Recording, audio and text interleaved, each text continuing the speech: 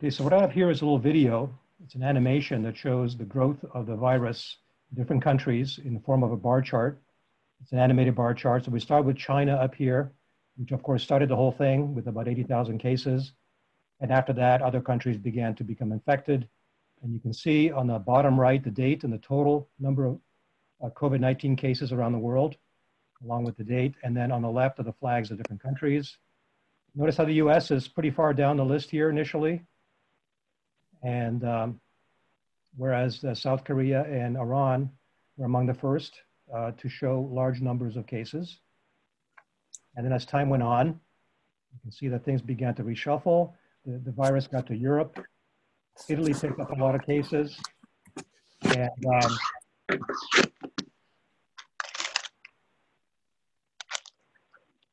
whoever is making noise in the background, would you please mute your, mute your phone?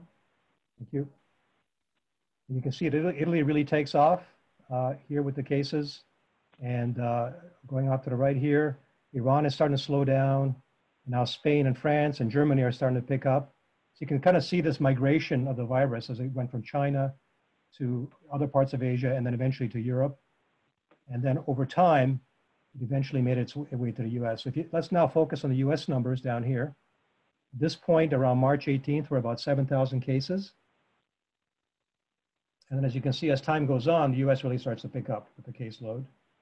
And uh, you can see now it's moving up the ranks here. It's almost like a little horse race. Not one you want to be in, but this is, the, this is what happened.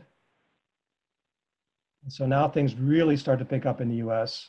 You can see things are just beginning to accelerate.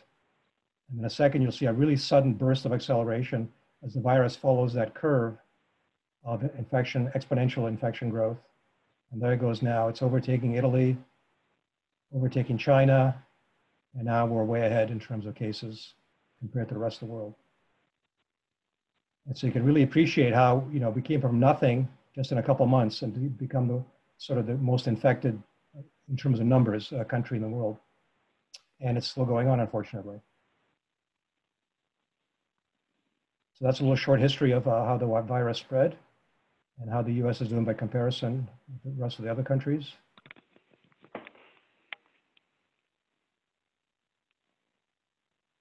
And now we're well ahead of the rest of the world in terms of number of cases.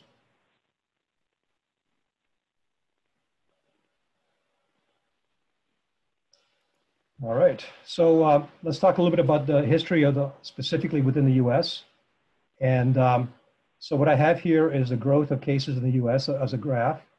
It's a, um, it's a graph that shows uh, the number of cases, uh, and you can see as a function of date here at the bottom. So we're starting from February 15th until roughly today. This is a few days out of date, but it's still uh, pretty relevant.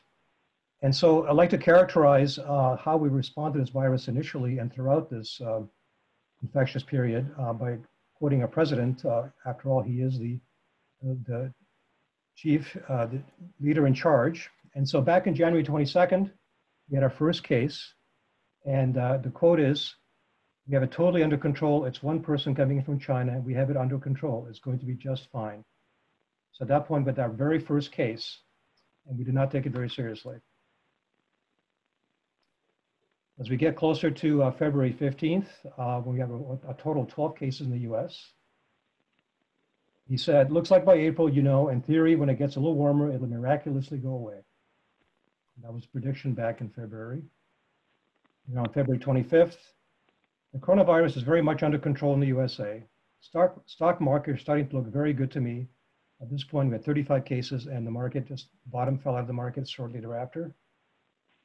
It's going to disappear. One day it's a miracle, it will disappear. At that point, we had 60 cases. We have, once we started having deaths in 153 cases, the following quote, some people will have this at a very high, light level and won't even go to a doctor or hospital and they'll get better. There are many people like that. Not quite sure what that means, but still, it's not being taken very seriously. Further den denial around March 8th, when we have 500, more than 500 cases and more than 20 deaths. The fake news media and their partner, the Democrat Party, is doing everything with its semi-considerable power, dot, dot, dot, to inflame the coronavirus situation. So now it's becoming political. And shortly thereafter, March 10th or so, we're prepared and we're doing a great job with it and it will go away. Just stay calm, it'll go away. So at that point, we had 600 cases and about 22 deaths. And you know the rest of the story at this point. So middle of March, we're using the full power of the federal government to defeat the virus, and that's what we've been doing. So starting to be, trying to be reassuring, but at the same time, trying to claim that we've been doing something all along, which we haven't been doing. Acknowledging it's a very contagious virus, but still claiming that we have tremendous control over it. That's after 2,700 cases and about 54 deaths. I felt it was a pandemic long before it was called a pandemic. That's a little bit reverse engineering of history there.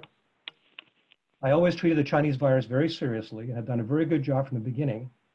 So this is uh, after 6,400 cases and over 100 deaths. America will again and soon be open for business, very soon, a lot sooner than three to four months someone was suggesting. We cannot let the cure be worse than the problem. Of course, the problem back then was quite a bit less than it is today. I'd love to have the country opened up and just raring to go by Easter. So Easter's coming up this weekend. I don't think that's going to happen. I don't believe you need 40,000 or 30,000 ventilators. You know, you go into major hospitals, sometimes they'll have two ventilators. And now all of a sudden they're saying, can we order 30,000 ventilators? So again, not really facing up to the reality of what's going on. The country would be doing well if it could hold the number of deaths down to 100,000. So now we're, of course, setting a much bigger target. And if we fall short, we'll consider that success and victory, but still ignoring the fact that thousands of people are dying. The, the professionals, this was attempted a joke with the president. The professionals did the models, and I was never involved in a model, at least not that kind of model. The rest of the quote is missing here. To here we are today, over 457,000 cases and over 16,000 people dead. And as you can appreciate from this curve and from the quotes I, I read to you, we were roughly three months uh, short of acting when we should have. So in other words, if we had acted three months sooner, we could have avoided most of what we're experiencing today. Which isn't to say that some action is better than no action. And in fact, everything we're doing now with social distancing and so on is really paying dividends, as we'll see.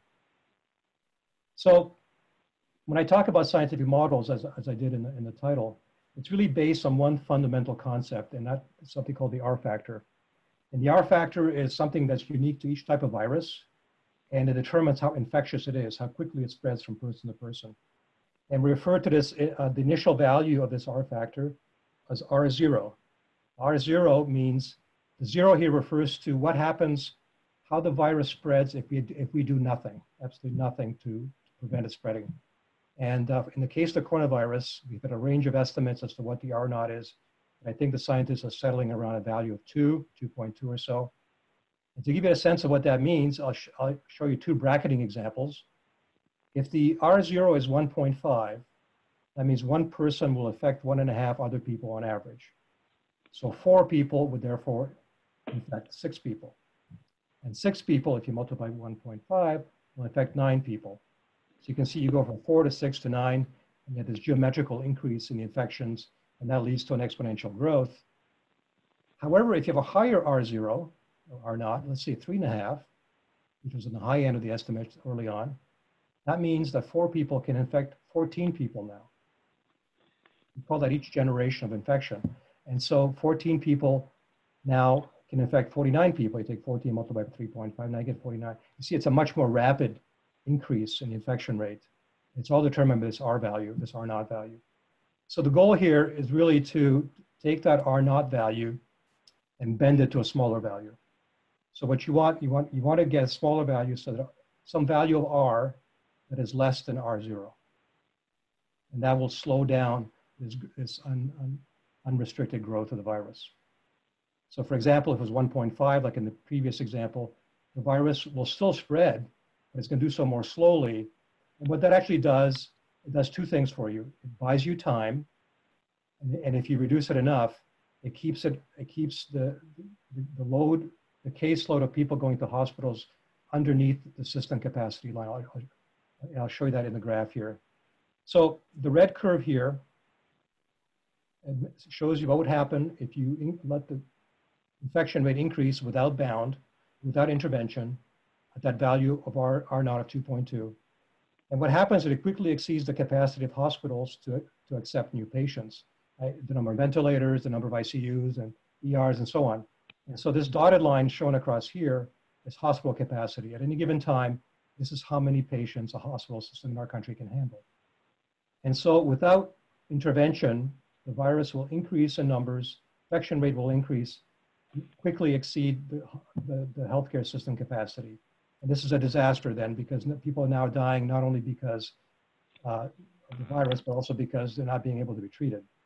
And so we don't want that. So all the effort, all the talk you've heard about bending the curve, flattening the curve, it's really to make it go from this red scenario to the blue scenario, where now you, you've flattened it a little bit, you've made the R a little bit less, so the increase in time is shallower. You're still gonna get a lot of infections, um, but the point is, you, if you keep it under the healthcare system capacity line, you'll be able to treat everybody and not have people dying in the hallways and things like that. And that's what really what we've been trying to do, and I think we've been reasonably successful at it. Although in a few instances locally in certain areas of the country, we have exceeded that system capacity. So really, it, these models are really all about what can we model? What can we how can we predict things so that we can help hospitals prepare, help our country prepare to deal with the crisis? That's really what these models are useful for. And of course, like any scientific model, it's only as good as the data comes into it. So as we do more social distances, distancing, we update the models, and that gives us more refined predictions and so on. And so that brings us uh, to the other critical aspect of how we can accurately model the spread of these viruses, uh, and that is by testing without testing, it's really hard to know what problem it is that you're dealing with. You don't know how wide, widespread the infections are. You don't know where it's happening in the country. And so the reason we, we really had a problem with not enough testing is because we did, we're not able to you know, come to grips of what we're dealing with. We're not able to define what we're dealing with. And so, for example, we now know that people who get the coronavirus can either be asymptomatic, no symptoms at all, have mild flu-like symptoms, or have super severe symptoms that require hospitalization and may even lead to death from complications. And so we really would like to be able to triage people and determine, well, which of these categories they fall in. Again, the more testing you do, the better you're able to do that. And then the other reason you want to do testing is it allows you to identify hotspots throughout the country. So here's the current hotspot situation in the US. And, uh, and all these dot, the, the reddish dots are the most intense hotspots and the yellowish dots are less intense. And really, it's the reason you want to know that is because if you know where the hotspots are, then you can funnel all your resources to those hotspots and not spread them around where they're not needed, not having enough where they are needed. It also allows you to test for people who already had the virus and who built up immunity to it. And once you have immunity to it, you can go back to the workforce or you can help out in hospitals as a volunteer. That's another reason you want to test people to make sure they're over the virus but have the immunity. Also, if they're currently showing symptoms, if they have the virus at the moment, you can then inform them to stay at home and not infect others because they may not know if you don't test them. And then uh, it gives you insight into how transmittable the disease is. And then finally, it just helps improve scientific modeling. So the more testing we do, the better able we're, to predict uh, what's going to happen and better in, inform how resources are used to fight the virus. So couple of ways we can manage the virus. One is, of course, socially, like we have been doing, and the other is medically. Unfortunately, at this point, you can't do much medically simply because the um, without a vaccine, you can't really prevent it. And so, and you can't make it, there's no cure for it. And so all you can really do at the moment is use drugs to administer therapy. So if you have complications, for example, in the hospital, we can treat those complications with drugs that are currently available, varying degrees of success depending on what the complication is. It doesn't cure it, it just simply uh, gives you a fighting chance to overcome the virus by, by treating the, the complications that might have been induced by the virus. Uh, we are still probably about 12 to 18 months away from a vaccine. So until that happens, we're not going to be able to eradicate the virus completely. And then the third thing is if we don't do anything, we can rely on a natural process called herd immunity. And I'm sure a lot of you heard about herd immunity. And the UK actually tried to do this for a short period of time and unfortunately, as, as many people would have predicted, it didn't work. And I mean, it would have worked eventually, but at a high cost. And so the idea here is that you let the virus run wild, until enough people are infected that there's fewer people to infect and, and, and, and those who have been infected have built an immunity to it. And so given enough time, fewer people have the ability to infect other people because they're already immune. And then, and then um, there's fewer people to infect left. And uh, this actually works really well. Unfortunately, it kills a lot of people, particularly in the case of the coronavirus, which is very high mortality rate. It's around 2%. Uh, compare that to the flu, which is about 0.1%. And so we don't want to use herd immunity. That would, that would kill millions of Americans if we did that. So that was never really an option. And uh, the fact they even tried it in UK may, ironically, may explain why Boris Johnson ended up in the hospital. So social intervention is really the best option we have. And so now the question is, ultimately boils down to resources and the economy versus human life. Because human cost is really twofold. There's, there's the health cost and then there's the economic cost. People are laid off, they're not able to work, uh, and that puts hardship on families and so on. That's one type of human cost. The other is, is, is, is really death and how many people willing, you know, willing to sacrifice in order for, for the economy to be uh, productive. And so the best strategy, of course, especially in hindsight, is early on intervening with social, uh, social sep separation, social distancing is really the most effective way if you do it right away. Unfortunately, we had a three month late delayed start on that, but late is better than, than never. And so we're finally coming to grips with that. And then ultimate question, of course, is what is a life worth? Should we sacrifice the entire economy for one person? Or is there some kind of balance that we can achieve? Um, and, and believe it or not, there are some politicians who came, politicians came out of the woodwork and said, well, you know, the elderly have had it good. Maybe they should sacrifice themselves for the economy. And this is something that uh, Dan Patrick, the Lieutenant Governor of Texas, actually said back, back on March 24th. And that's certainly not something I would advocate. I don't think it really follows our Unitarian principles.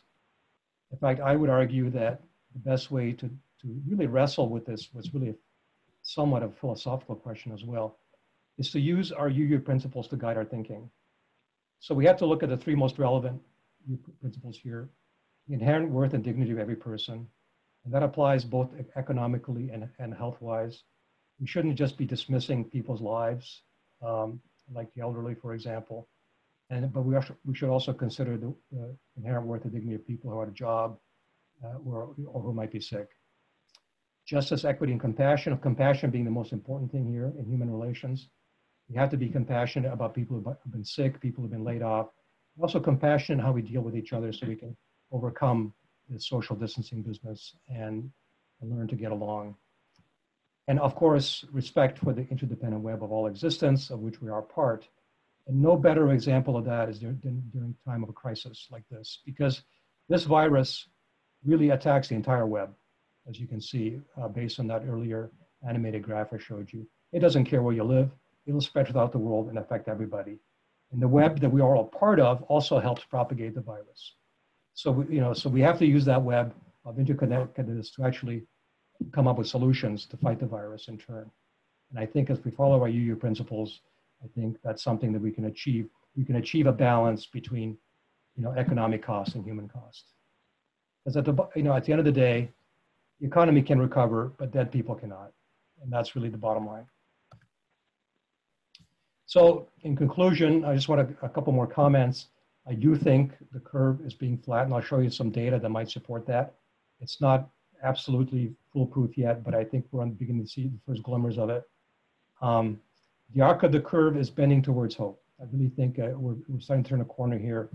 And look, look at some data. And I'm going to point you to a website here called worldometers.info. And it's, it's a nice website from the perspective, it collates data from all kinds of agencies around the world. And if you really want to stay up to date on the, on the numbers and to see what's going on and inform yourself, I, was, I would recommend uh, using this, um, this link to, um, to check it out. So let's click on that. And so when you click on the first thing you're going to see is you're going to see the, uh, the world numbers. So right now there's about 1.6 million cases in the world actively, or people who have, who have actually gotten the virus since it first broke out, approaching 100,000 deaths worldwide. And about 355,000 people have fully recovered from it. We can now look at some graphs. So here's an example of the total number of cases in the world as a function of time. And um, you can see it's more or less like an exponential type curve uh, with all the, all the action occurring more, most recently. And one of the tricks we like to use in science and math is, uh, for those of you who are not familiar with logarithmic scales, is it's, it's very difficult to show. Not seeing it? Okay. I'm told that you cannot see the web page, so let's try a small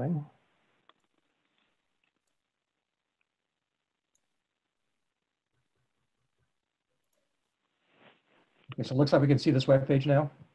This is the page I was linking to. And so um, right now there's about 1.6 million cases worldwide, almost 100,000 deaths. And here's a graphical representation down here. And uh, it's very difficult sometimes on a single graph to show really large numbers like 1.6 million and really small numbers like 20. And uh, so you don't get a good sense for what's going on. And so we instead we like to sometimes use logarithmic scales where now the, the, the time axis is still the same, but the vertical axis is now in powers of 10. You start with 100, 1,000, 10,000, 100,000 million, and so on. So it's, a more, it's an easier way to display the, the, the extent of the data. And what you can see here is, this initial uptick in cases early on.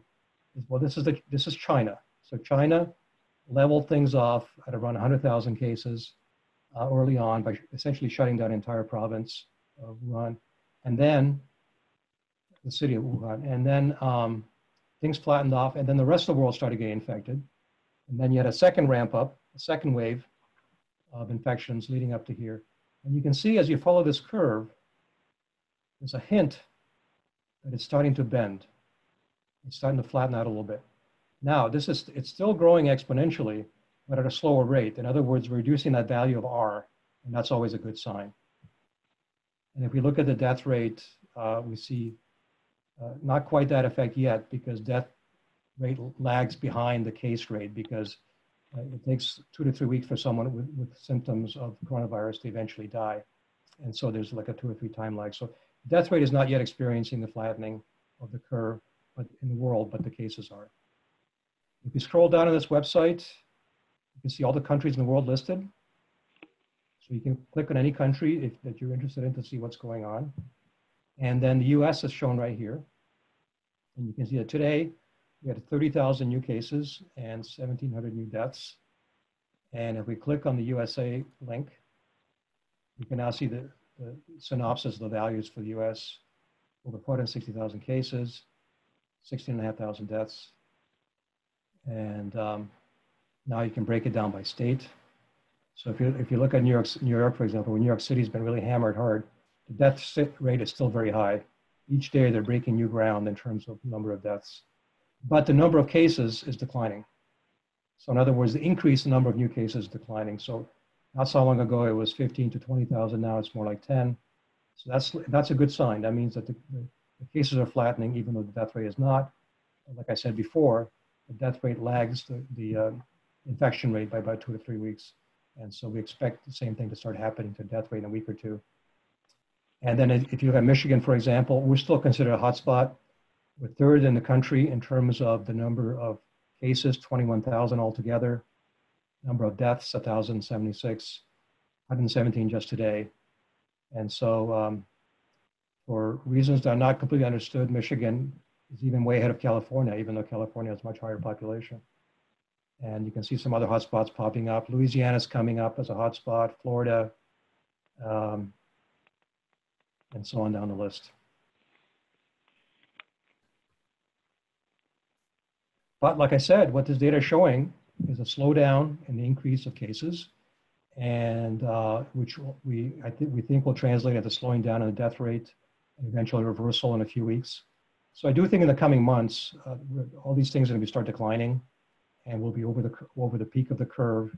And from that point on, we just have to be careful how we begin this process of lifting uh, social distancing. If we do it too fast, we'll get a second wave, and like what might be happening in Singapore right now. And if we do it too slowly, we damage the economy. It's going to be a pretty tight balancing act in terms of what we do. Um, but I'm hopeful. I think the data is suggesting an objective manner that things are getting better And as long as we're careful how we do social distancing the next few months, I think, uh, I think it will become manageable. So at this point, I think I'd like to um, take questions. So let me go ahead and unmute everybody.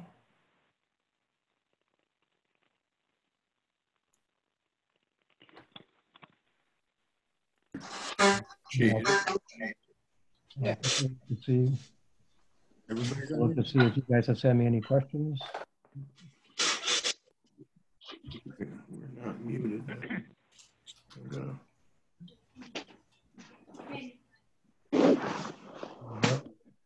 Uh, Yep, Yep. Neb, can you hear- can you hear me, Neb? I sure can. I got a question. Have we come up with a situation where the some hospitals have to decide about who lives and who dies uh, because of the lack of uh, ventilators? Yes, I, I've heard anecdotal, anecdotal stories about that. I don't know how true they are, um, that people are dying in hallways. But that's, um, I think what I, what I can say is I know in the Beaumont system, they've offloaded some of their cases to Crittenton and other nearby hospitals. They could spread the load around, so there's always enough ventilators. I've not heard of any cases around here where we literally have run out of ventilators down to the last one. But I'm not an MD, so I don't know for sure. Another another question: um, Is it possible that there could be tens of millions that die with this epidemic, like it was in, in 1918? Could you repeat that question again? Is it possible that there could be tens of millions that die from this epidemic, like they did in 1918? If we had done nothing, if we had not, done, if we had not done any social distancing, the answer is yes. It could have easily led to that many deaths, but I don't think that'll happen this time around because the social distancing and, and other things that we've done. I think just wearing masks, for example, in Asia, it's culturally acceptable to wear masks. And I think if we came out of this and, and wore masks, that might actually help us lift the social distancing quicker as well. So I think there's many of things we can do. We just have to be willing to do them. And um, I think that I don't think we'll get into those kinds of millions of numbers. But honestly, if we had not done nothing, it could have easily been those numbers. Thank you. Hey, Neb, this Yeah. is Matt Court. Um, I have a couple of questions on the modeling. um, You mentioned like model. Uh, the what comes out of the model is as good as the. Could everybody please mute that's not talking? So what I wanted to say is, um, with any model, the data that uh, output that comes out is as good data. So the data that's feeding into these models, I know that Lisa and I have talked. Like you know, right now you see things like in China, there or Wuhan. You know, there's only like really small number of cases. If I, you know, how can that be right? Trust the, I guess, government numbers that are that are feeding in there because seems to me like even under the best of circumstances, how could they have gotten their new infection rate down so low, or is it being suppressed to make it look politically advantageous to their government? I don't know, and I don't know that any of us know that answer, but that, that's one question that I have. Let me answer that one first. Um, yeah, I, I think that part of the, part of not being able to find the problem is not doing enough testing. So you don't really know what you're dealing with. So all we can do is guess. Um, to, well, educated guesses, right? Because some sampling is better than none. And so I think in the case of China, let's tackle that one first. Uh, a lot of people don't trust their numbers. Um, and it's not, but it could also be inadvertent in the sense that not a lot of people were tested initially. And also a lot of people who die, and this is actually true in the US too, could be dying because of virus induced um, problems with complications from underlying conditions. But they die in their homes, and when they get taken to the hospital, no one bothers testing them because you know everybody's swamped trying to do what they're doing in the ICUs. And so a lot of potential COVID deaths may be, un- may be underreported simply because no one tested them either before or after they died. And uh, so, for example, in New York, even uh, they talk about going to people's homes and people dying with cardiac arrest and things like that in numbers much larger than normal. And so that would suggest that maybe they had the virus, triggered underlying condition, because there is some connection with cardiac issues. And that could, could have triggered a heart attack. Again, these are, these are anecdotal stories, but I get your point, and that, and that is without testing, we're probably underreporting not only the number of deaths, but also the number of cases. Okay.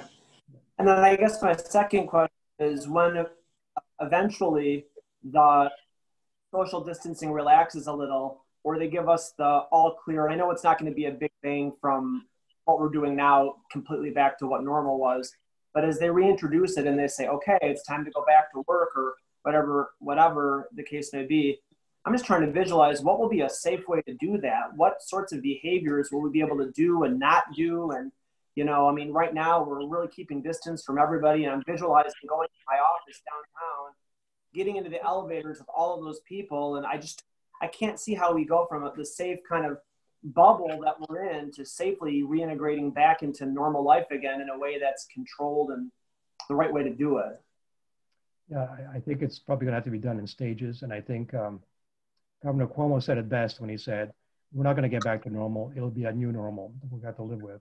And um, I think um, part of the testing is one of the things that they're looking at is to test for um, antibodies that would suggest that you actually had the virus at one time. And, uh, and so once we can figure out how to test people for that, then they're safe to go back to the workforce. And an immediate need would be obviously in the healthcare industry to get them back in there to helping out. Um, Secondly, I think wearing masks, making it mandatory for everybody in the country to wear them, I think would be tremendously helpful because because uh, I think we can build enough masks to do that. And we, plus we can make our own. And, and some mask is better than no mask. That's what they're saying now. And I think that's also going to be helpful. But ultimately, we will not never go to normal until we get the vaccine and vaccinate everybody. And once we eradicate the virus, then we can go back to what we used to call normal. But in the meantime, it's going to be, I think, a slow adjustment period. I don't think we have to be at this level of social distancing over the next 12 months. I don't think that's, great. but like I said, it's going to be a fine balance trying to figure out when, how to, how to start lifting it gradually. And maybe wearing masks is one, one of the options available to us. Okay, thanks. Sure. Neb, do we really think people are going to ease back into that, lifting these restrictions? I know today they were talking that, um, you know, with Governor Whitmer extending our stay home until April 30th, that there was a lot of discussion in the legislature that they think that's a little too strict. Um, you know, how do we think people are really going to weigh the economics versus personal safety and health?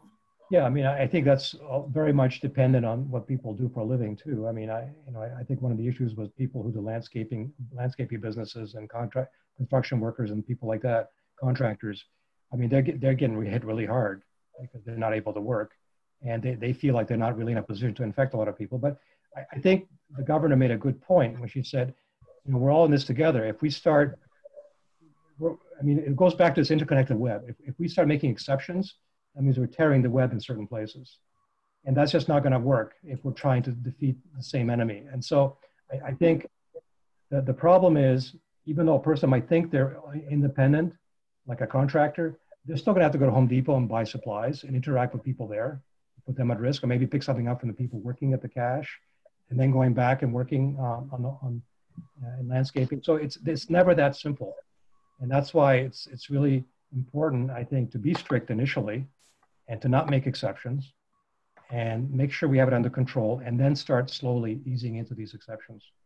And I think that's what she's, she's trying to do. And I, I believe she said it was be until the end of April, right? I think is what yeah. Mm -hmm. yeah. And then we can reevaluate between now and then. Yeah. So Neb, um, everything I've been seeing is saying that um, African Americans are, they get sick more often get, they die more often. I wonder if you have any sense for whether that's, I assume it's true, it's in the numbers, why that might be. It's, it's very much true. And uh, like, we, like when we talk about climate change and how it disproportionately affects disadvantaged populations, same thing is true here. It's true every time, no matter what the crisis is.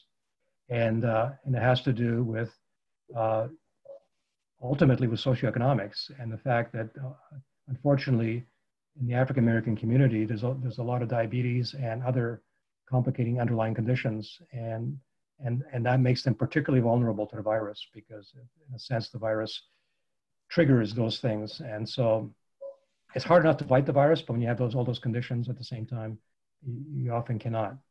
And I think that's probably one of the major reasons why it's not just true in Detroit; it's other African American communities throughout the country. And sometimes urban density plays a factor too, like in New York City, for example, where people are living close to each other. And um, people going to, ch to church in large numbers, all those things add up to greater infection rates and poorer outcomes. Neb, you used the phrase on one of your graphs, slow, careful lifting of social distancing. Can you propose or suggest what that timeline might look like and what might happen, say, at the end of April, May, June, July, August, September, when kids go back to school in September? Give us a little broader picture of what the limitations might be and what might come off at any given point in time. I wish I could do that for you, but I believe this is not my area of specialty, and uh, I cannot make that prediction uh, nor offer an opinion on it. But what I can tell you is there are certain things we want to consider for sure. Um, I think once we start going back to work, we may still want to practice social distancing, the two meter rule, six foot rule. We may want to be wearing masks, uh, all those things, and maybe letting healthcare healthcare workers go back first, and then slowly easing in those people who are mostly um, not interacting with, with, as many people in, in, in, by the nature of their job, things like that. Um, but no, I, am not going to venture in terms of a timeline or anything like that. I do know that uh, uh, at the end of April, and I think the Trump administration already signaling this, is they really want the economy opened up again in May.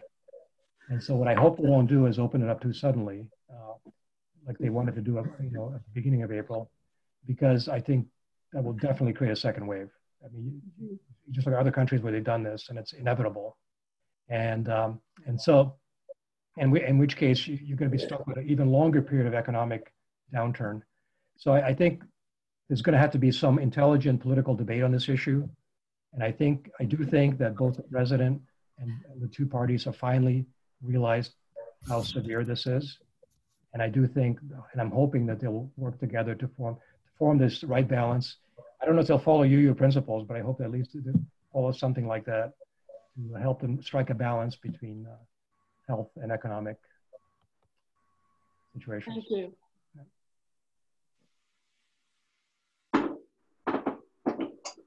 I noticed there was one question here from Karen about how does the U.S. compare with other countries based on census?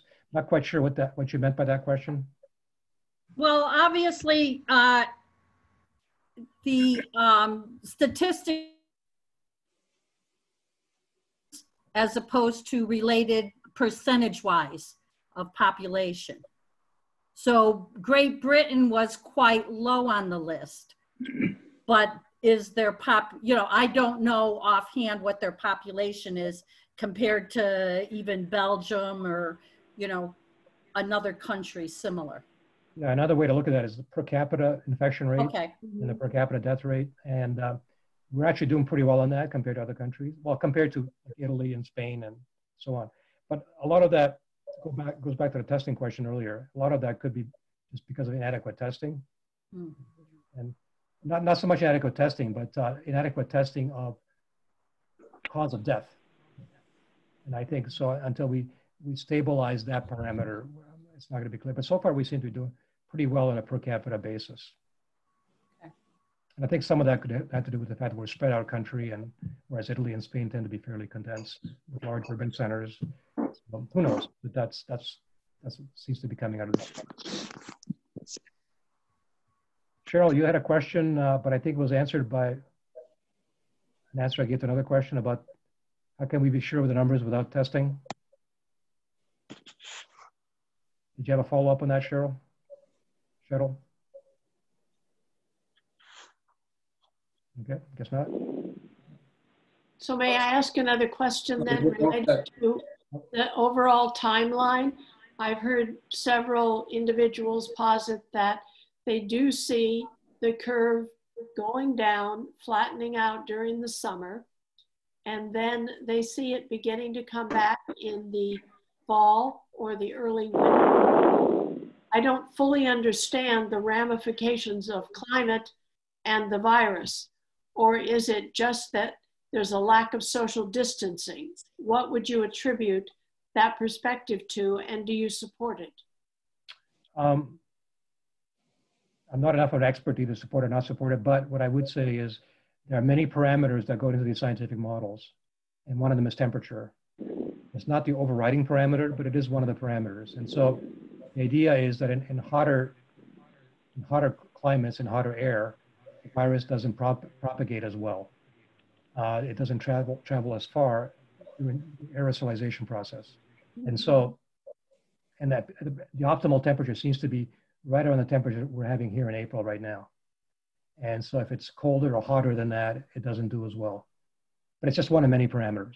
Uh, but yes, everything else being equal, that would predict a, a, slight resurgence in the fall.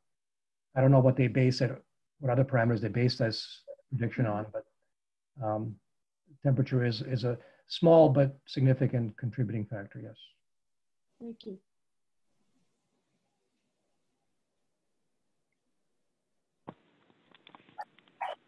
I know that uh, the vaccine's not going to be here right away, but eventually uh, it will be. And how good are how good are we at producing safe and effective vaccines? Or said another way, what's your assessment of how likely it'll be that when they say a vaccine shows up, we're gonna it's going to work and it's not going to do more harm than good? Yeah. So generally, the, the, the process that vaccines go through is same as any other drug. You go through a, a through a series of safety tests so you have a, a, safety test to make sure it doesn't have toxic effects before you administer it to the general population. And so there's two types of tests. One is safety test, the phase one trial, and then there's the efficacy test. And that is, does it actually help the person now that we know that it's safe? Because it can be safe and not effective, or it can be not safe and not effective. But either way, it, that doesn't help you. And so it has to be first shown to be safe and then effective, and then administered to the general population. And um, that probably won't happen for at least 12 more months. I do know that some trials are starting right now. Uh, and, uh, and there's many, many, many companies in many countries uh, trying to develop a vaccine. And I think given the, the large effort, multiple countries, we may actually shorten that timeline a little bit. And the odds of making having an effective vaccine will obviously increase as a result. So, but every, everybody I've read suggests uh, at least 12 months from now or we have something that could use an entire population. Uh, Neb, uh, this is Larry Larson. Um, don't we need a, a, worldwide strategy, maybe led by the United Nations, to deal with uh, this this epidemic? That would be nice, but it, it runs counter to the philosophy of this administration. In fact, uh, Trump has already announced that he's going to defund uh, WHO. And so, or at least not contribute to it. And so I think that would suggest that sends a pretty strong signal that the US doesn't want to be dictated to by any global organizations. And that's consistent with, with the governing philosophy. So I don't think that's going to happen.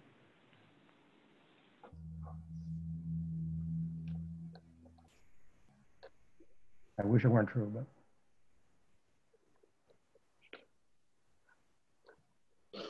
Maybe after November.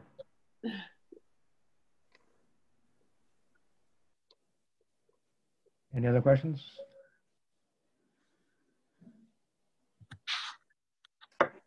Well, thanks everyone.